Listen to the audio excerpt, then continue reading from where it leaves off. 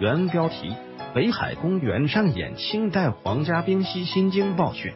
一月二十一日上午，北海和花湖冰场冰嬉表演队身着八旗士兵服饰，脚踏冰鞋，在冰面上展开传统冰嬉表演。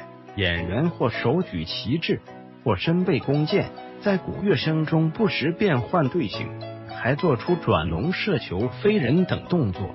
引发众多市民游客围观叫好。即日起至一月二十五日，在荷花湖冰场，每天上午十点三十分至下午十五点开展五场传统冰嬉表演。冰嬉早在宋代就已开始，到清代初年，冰嬉应用于兵家。清代把冰上活动视为军事训练，每年要举办一场规模盛大的滑冰活动。北海公园太液池曾是八旗士兵冰嬉的舞台，表演动作多来自冰嬉图记载的经典冰上动作，有部分创新，难度较大。传统冰嬉表演，冰嬉表演队身着八旗士兵服饰，脚踏冰鞋表演。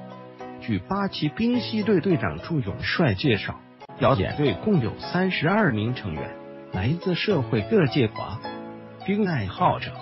新京报记者侯少卿，周一摄影报道编辑吴飞虎，校对王鑫返回搜狐查看更多责任编辑。